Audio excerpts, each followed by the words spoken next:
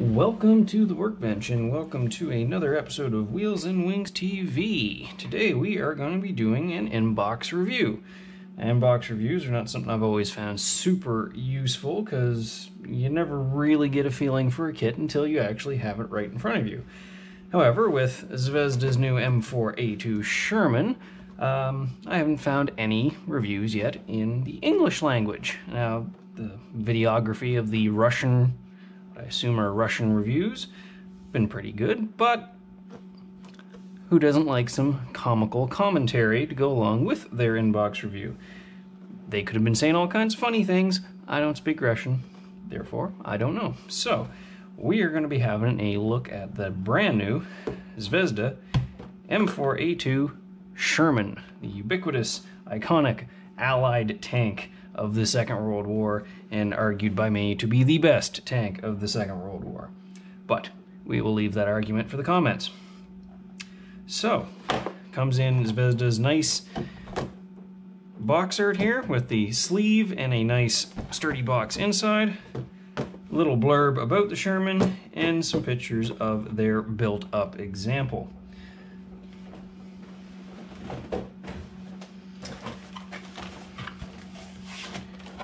Inside the typical opening box and big bag of parts, some instructions, a small bag of parts, and what we got?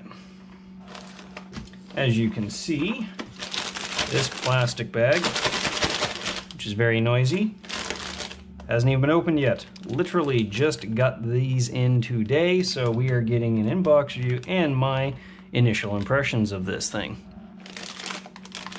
So let's look at this here. So first of all, here are our color slash decal guide. We've got two Lend-Lease Soviet tanks, one from Belarus in 1944 and one at Yalta in April of 1944 as well. If I throw it around, we've got two American ones, two U.S. well, sorry, one U.S. Marine Corps on Tinian in the Marianas in July of 44, and one at the Aberdeen Proving Grounds in Maryland, USA in December of 43. So probably some sort of trials vehicle, I would assume. So, all, of course, in your standard exciting American overall olive drab, whatever flavor of olive drab you prefer. Decals come in their own little bag with the clear parts. And these look initially quite good. It's going to be hard to tell until we actually put them on the model how translucent the white is going to be. But looks pretty solid. Decals seem don't seem don't seem too thick, don't don't seem overly thick or overly thin, kind of in the middle. Um, I have not had much experience with Zvezda decals, but these don't look like they will be too bad. At least not anything a liberal application of Solvaset can't deal with. Clear parts. So we've got periscopes, headlight lenses, as well as vision blocks for the commander's cupola, uh, which I don't think we are using in this kit, so that might be a foreshadowing to a possible other variant that actually had the vision blocks in the hatch ring. But, oops, my stupid head. But uh, this looks to be relatively clear. Uh, now there's some something funky going on in there. Um, I haven't really the few Zvezda kits I've really looked at, I've never been super impressed with their clear parts. There's usually a lot of distortion and They've never really been that clear. I've only built a couple of Zvezda kits and they were both aircraft. Canopies were okay. Um, periscopes, I mean, the little tiny piece of clear you actually will see looks fine. So Cool. And clear headlight lens is something you don't always get. Cough, cough. So let's quick peek at the instructions. I'm guessing this was inspected by number eight. Once again, useful advice, blurbs, Russian, English, sprue. Apparently I have a text message. Sprue map right here lays everything out. So we've got five sprues plus the clear sprue. Okay. So looks like we've got 10, 16, 18 overall assembly steps. And of course, some of these are broken down into sub assemblies. So step one, gun and mantlet and hatch bits, but hop over here to get your gun and mantlet put together first. Turret ring. Yeah, straight, overall straightforward. Apparently the 50 cal just snaps into its mount and will be posable.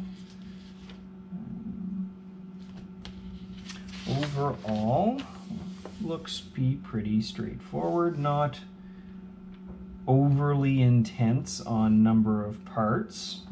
I know there are some kits where there's probably a dozen pieces in each suspension bogie, which makes them workable, which if that's your thing.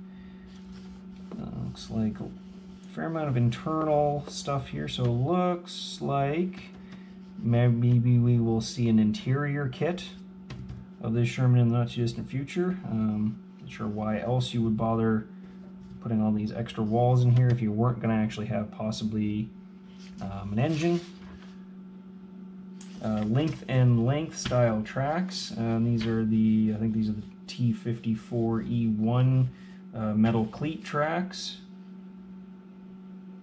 Those look like they will go together quite well. Um, it's going to be interesting to see how well the fit uh, from the bogies to the hull is so that we can glue our tracks and bogies as one unit and paint them up much like we did with the Tamiya R35. Um, also wheels are molded with kind of a bowl and then an insert. Um, all the instructions. Yeah, get your separate engine grills and piece up here. So they're going to cater to maybe we'll see an M4A3.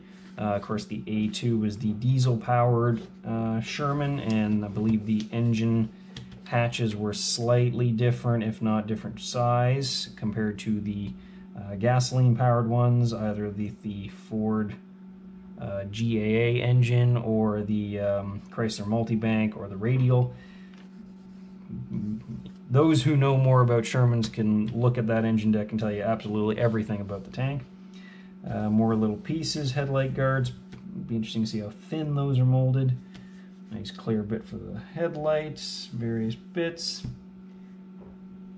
Your upper hull and our sponsons together. So no big open gap onto the inside like them old Tamiya kits. Um, tow cable, um, from some reviews I've seen, that's apparently molded as one piece of plastic. I'm, it's interesting.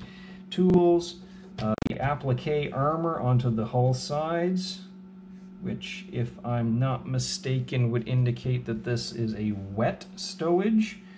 Um, because these things, it wasn't the gasoline that made them blow up, it was a sudden emotional event to the ammo racks. So adding a little bit of extra armor on that side apparently helped. Probably also gave German anti-tank gunners a more obvious spot to shoot at.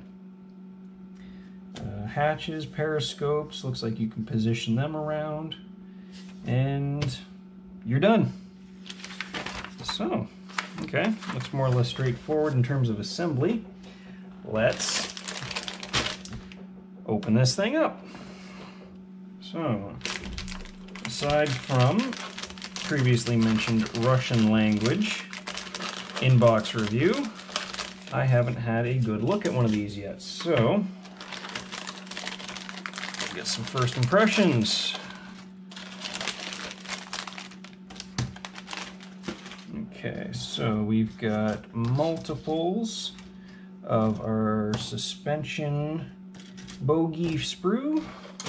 We've got upper hone base, we got turret bits, we've got other hull bits, and we've got duplicates for our tracks. So let's, we'll need to look at one of those and one of these.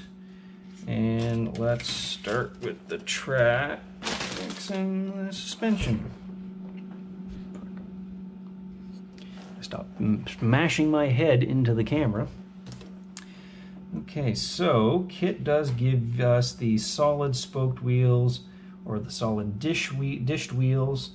Um, the instructions look like they're only showing these ones, so you've got some extra Sherman wheels or, you know, do some research, find a particular vehicle that you want to do.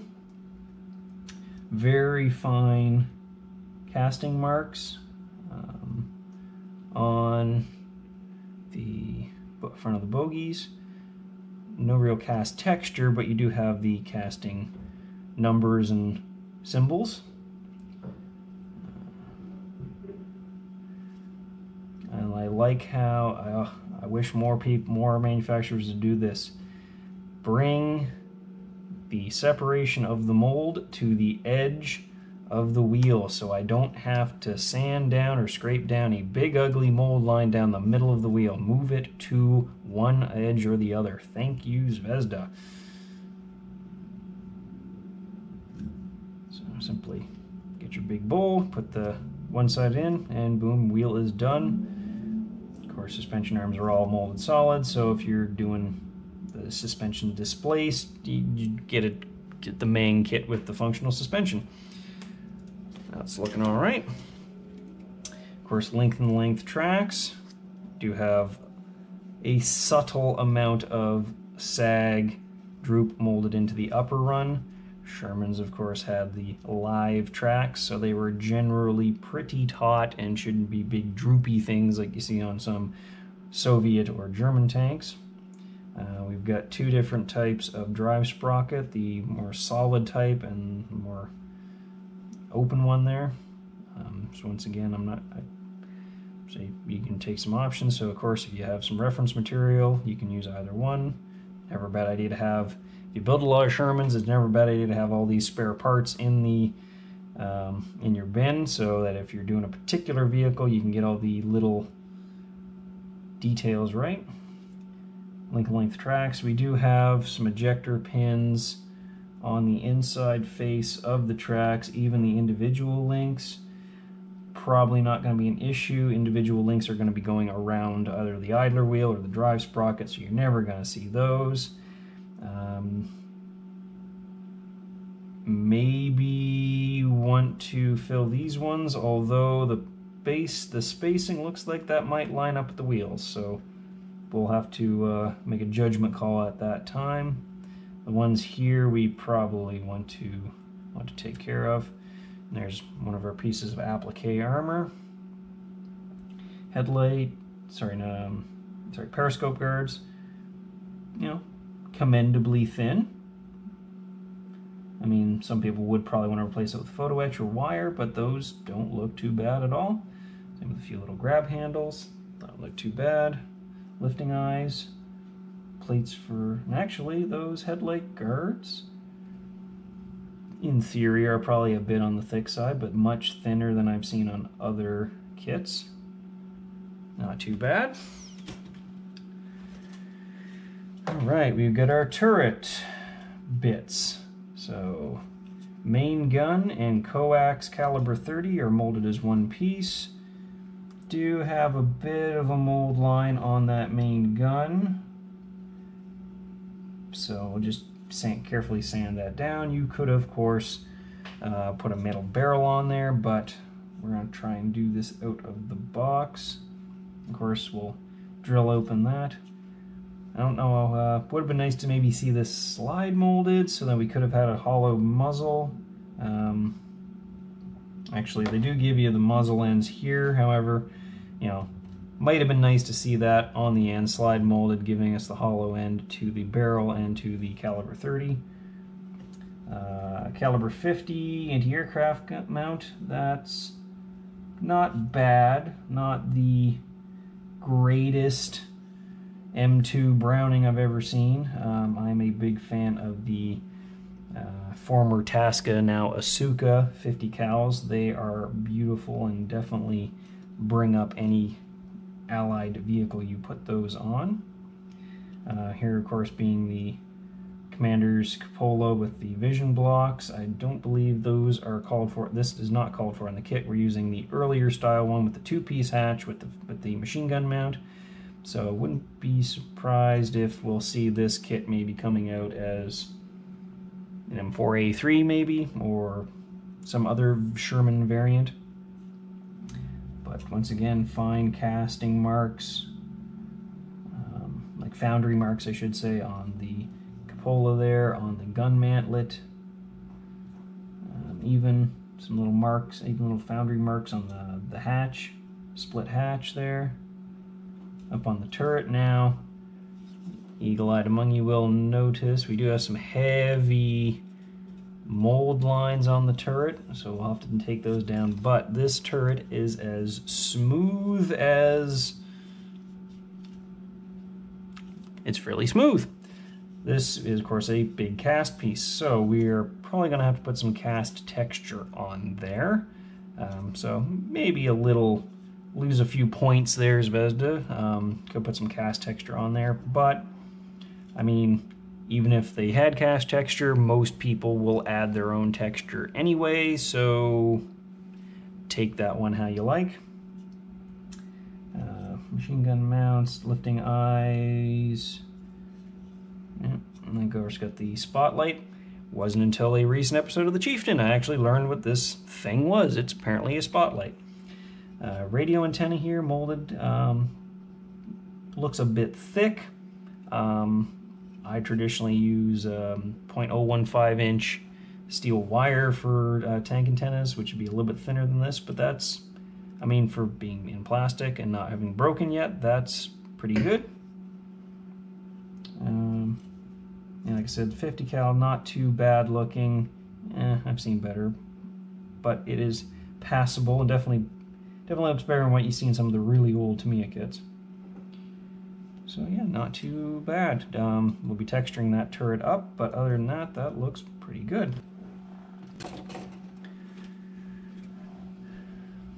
Okay, so we've got our lower hull sides, transmission cover. I believe that's yeah, that's the center firewall.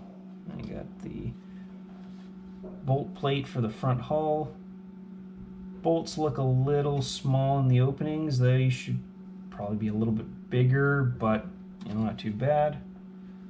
Um, got our bow machine gun there. Once again, not molded hollow, but that wouldn't be hard to do with a drill. Nice to see the cooling jacket in there. Now, here, okay, here we got some issues. So this is why you should be doing tow cables as a piece of wire. Um, commendable effort. Mold trying to mold this as one piece. Um, maybe could have saved some CNC time and maybe given us some cast texture instead of a molded plastic tow cable. The detail on it does look nice. They've got the nice wound wire look to it, but this is broken in two places. Not to mention it would you eh, you'd have to be careful to get this off the sprue without breaking it, even if it wasn't broken. Um, so, eh, yeah, I would have done that differently if I was Zvezda, but they probably had a rationale for doing that. Uh, tools look good. Some people may want to put some photo etch uh, mounting brackets on those, but what's in the kit for the way I build tanks looks good enough. Um, here's some of our headlight guards, kind of on the chunky side, but you know, passable. We could uh, take a knife or some files, thin those down a bit. Could replace them with some um, brass sheet or some you know, spring for some photo etch parts. but you know, don't look horrible. Um, gun travel lock. And of course, front uh, final drive transmission cover. Just like the turret, this thing is as smooth as smooth is. Does have the foundry marks there, which is nice, but we're gonna have to texture that up as well, just to differentiate these parts from the rolled steel plates. Once again, nice bolt texture behind the bogies and up the front. More little foundry marks. Give I gotta give Zvezda kudos for that. Getting all those little foundry marks in there is a nice touch. But you know, some of these parts probably should be cast as well. So too bad. Injection pin marks where we're not gonna see them, so no point. Yeah, that looks good.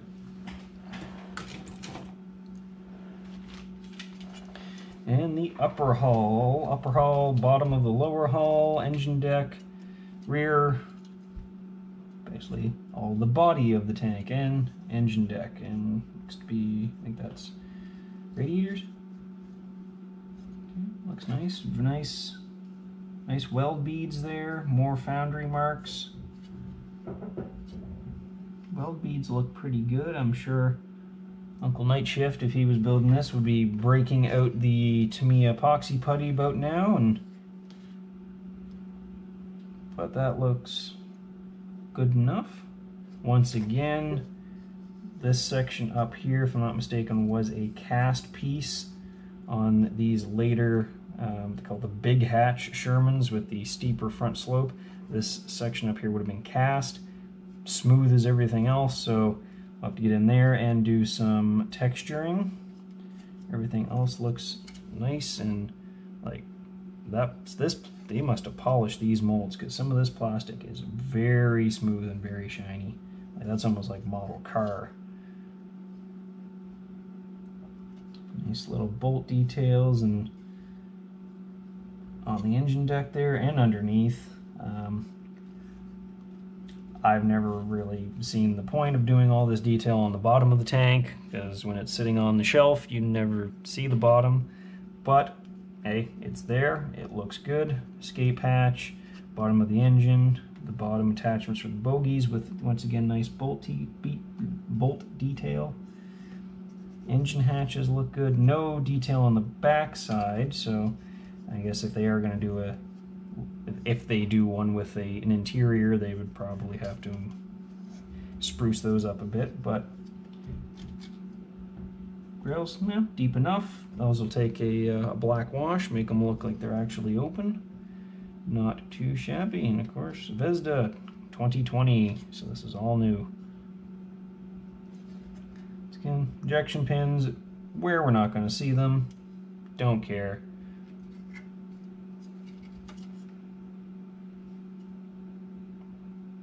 All right. All right. So, quick and dirty, little look at Tamiya. Tamiya. Yeah, Tamiya. Zvezda's brand new 135th scale M4A2 Sherman in glorious Soviet markings and, you know, Marine Corps American as well. Um, looks like it should be a relatively straightforward build. Um, it is Zvezda. They some of their kits are very good, others are a little lackluster, so we'll have to wait and see. Um, overall, looks pretty good, um, detailed without being horribly complicated. Uh, we are going to have to deal with all the smoothness and start roughening up the uh, the turret, the top of the driver's positions, and that front transmission cover. But other than that, looks pretty good. So At some point in the not too distant future, we are going to do a full build video of this, so go ahead, hit that subscribe button so you don't miss it, and we will catch you guys later.